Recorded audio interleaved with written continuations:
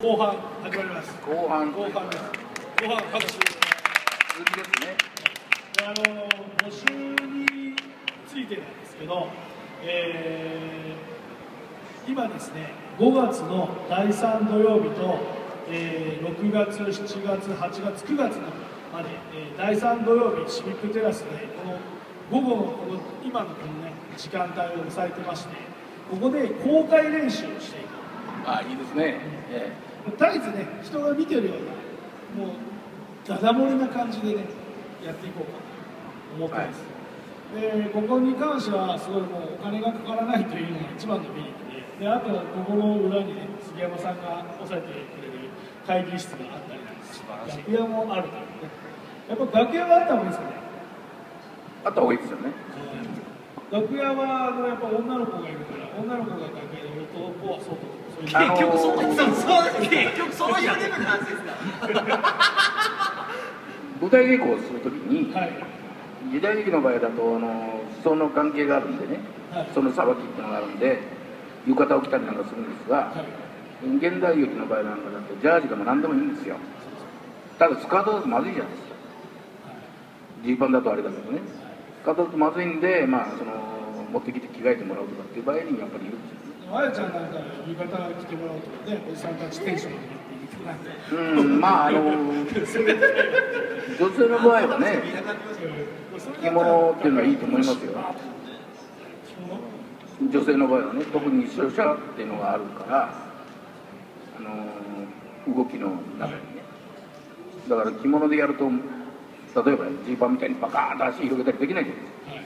だからそういうのも関係あるんですよ。そんなあやちゃん足パカーンってやるシーンがあるんですか？いやいやそういうことじゃなくて。それもしたらすごいですねちなみにあやちゃんはこう足を開くとこう床についちゃう感じですか？それは夜にしましょう。またまた先でこう床にピタッとかできるんですか？え、何がですか？こうこう開脚さあ足広げて。あ、私体硬いんですよ。ああそうなんですかはい柔らかいです。か昔はね。あ、そうなんですその分かあの体柔らかかったけど頭からちょびちょい入れますね。ちょいちょい入れますね本当にでやっぱりねこぞって参加していただきたいなというのが希望ですね。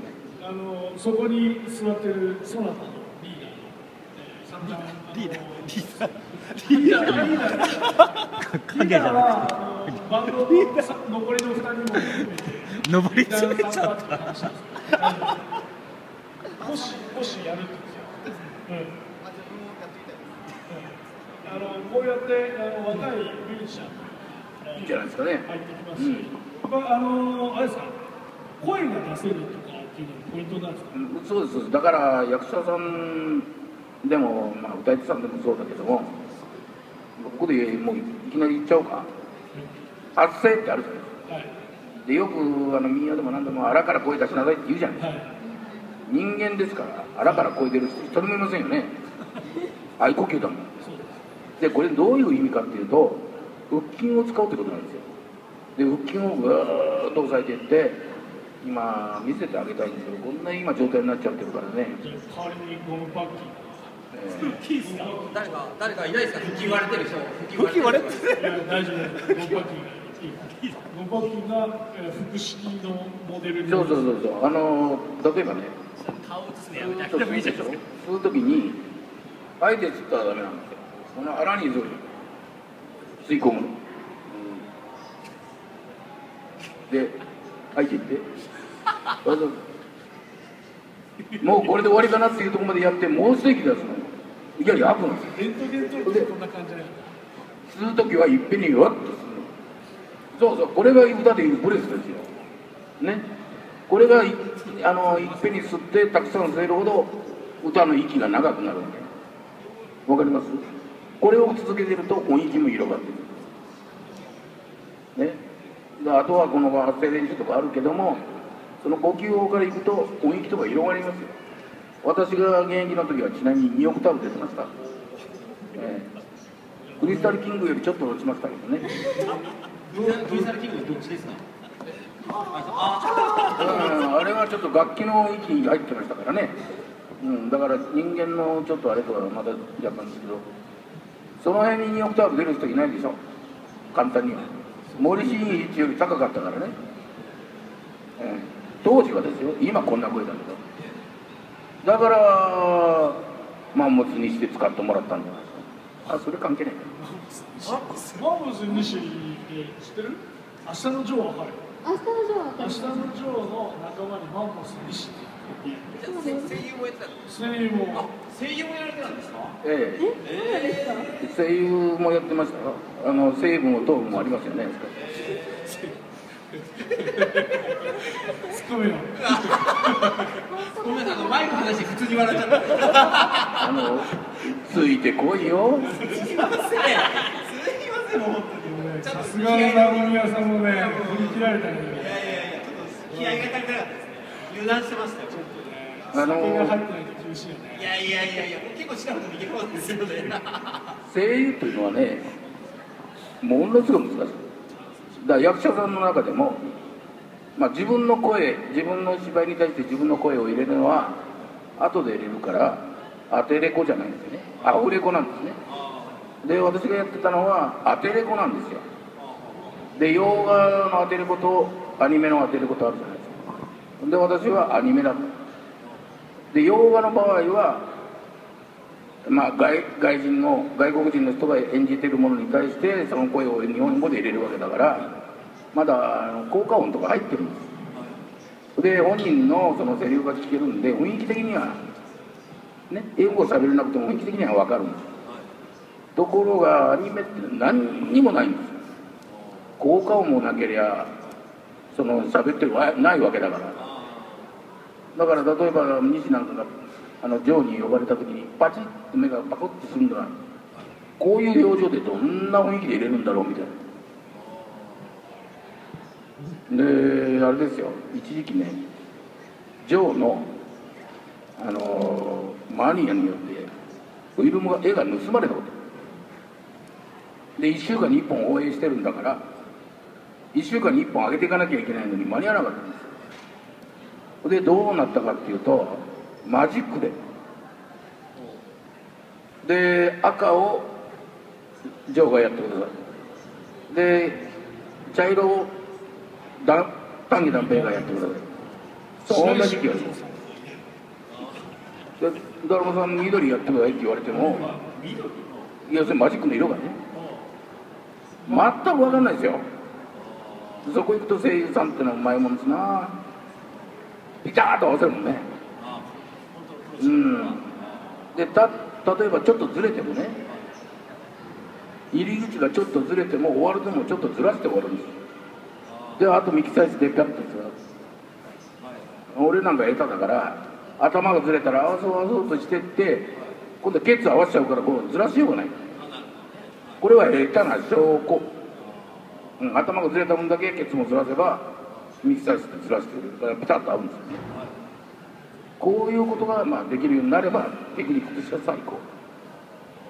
でアフターレコードねあのいわゆる役所さんが入れるやつは後で入れるからアフターレコードこういうのは自分が演じてるんだからだからこれ割とその演技をするときにあの分かっていればやりやすいんですよ例えば大ちゃんが言おうとするでしょ何か言おうとするときにマイクを一回こうやってやったときにこのセリフ喋ったっていうきっかけを作っておけばそれ見た時に入る。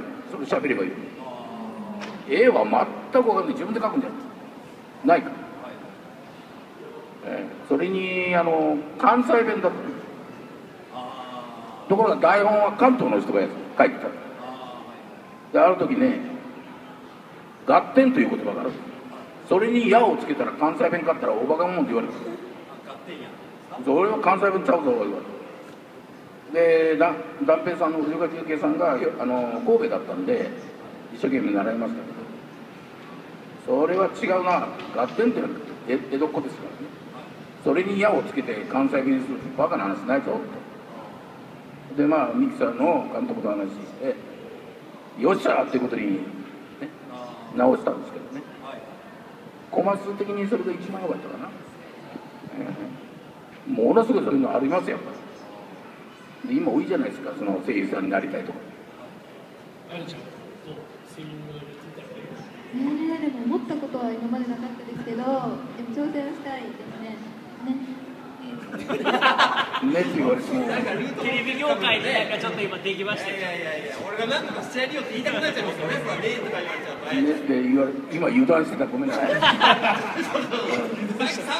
ないですか僕にちゃんとついてこいよみたいなうんちょっと油断してたなまあでもね何でもね経験すると身になりますよ。うん歌目指すんでしょずっとはい。歌が一番やりたいです。一番やりたいの？歌が一番やりたいです。じゃあ発声からだね発声、はい。発声それから表情はい。やっぱり見てくれてる人に伝えなきゃいけないはい。表情それから経験真剣。何でも経験しないと、実はこの後あやちゃん歌歌うんですよえマジですか？マジですかだきます。うん、だから度胸もいるしね、はい。うん、何でも経験ですよはい。でいかにこう幅広くやっていくかだから歌ってる時にお客さんの表情見なきゃダメよはい。ただ字面を追っかけていったんじゃカラオケですからねそれじゃはい。そうじゃなくてそれで飯食おうと思ったらお客さんの表情を見てあ受けてるなとかあ今日はダメだなとかいう、うん、そういうものを体で感じないと。でどうやったら受けるかとかね。だから見てみなさいよ。AKB とかの韓国の K- K-POP の違い。わからないでしょ？わからない。人数が違う。まあいいや。ちょいちょいめっちゃいい加減じゃないですもうそろそろおしますけどあやちゃんはどこで活動してるんですか？私はこの前は東海エコフェスタとかあのモリコロパークでやらさせていただきましじゃあ結構な人数前に行ったんですよねそうするとたその時は何百人か何モリコロパークの時はそのなんかうまいも市みたいなやってた時ですかちょっと前うまいも市みたいなやってた時ああなんか B 級グルメが集まってそうそうそうそうそうですねはいいやちょっとテレビでめっちゃやってて超行きたいなって思ったんですけどすぐ行けばいいかそうですよ来てくれればそうですよねそこで出会っとけばそうですよいや出会ああのごめんねちょっとこいつ彼女を探してるから。さいろいろいろいろこうあの男の部分がちょっと出てるわけで。すねね俺が俺がとか来ちゃうからちょっと今のななんでんのそれ劇団でんですよ。劇団だるまの話ですよこの話しましょうよ男が女を探す会じゃないんですよ。まあご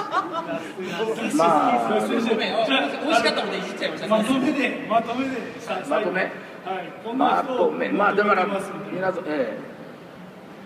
たくさんの人に来てもらったらいいし何が何だかっていう場合はとにかくここで公開をやるわけですから。